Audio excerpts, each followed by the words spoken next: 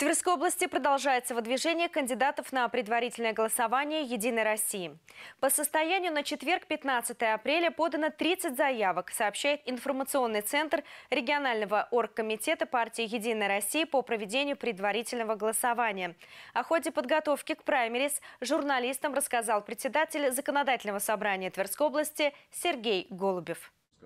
Вот уже две недели в Тверской области продолжается выдвижение кандидатов на праймерис или, говоря проще, предварительное голосование «Единой России». Свои документы передали в Рио заместителя секретаря Генсовета «Единой России» Владимир Васильев, председатель Законодательного собрания Тверской области Сергей Голубев, депутаты областного парламента Александр Клиновский, Артур Бабушкин, Константин Буевич, Руслан Лебедев, а также депутат Тверской городской думы Дмитрий Нечаев. В четверг, 15 апреля, к этому списку присоединился депутат Тверской городской думы Дмитрий Гуменюк. «Единая Россия» — это единственное политическое объединение, которое такой формат мероприятия проводит. То есть это, а, внутрипартийный конкурентный отбор, а, честный, открытый. И для меня это, в первую очередь, это еще такая а, репетиция, а, общение с электоратом, понять вообще сверить часы, как бы понять потребности людей, как бы, поэтому я очень позитивно оцениваю этот сам процесс и настроен по боевому к первому этапу вот этого электорального процесса.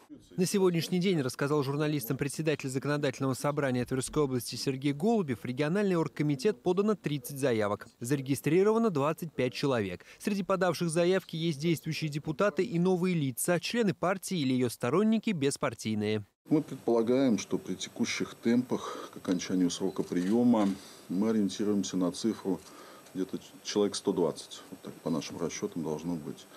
Ну, если учесть, что я говорил про два округа Государственную Думу и про 20 округов Законодательное собрание, да, то сами можете рассчитать, что мы думаем, что конкурс будет, так сказать, 5-6 человек. Это точно.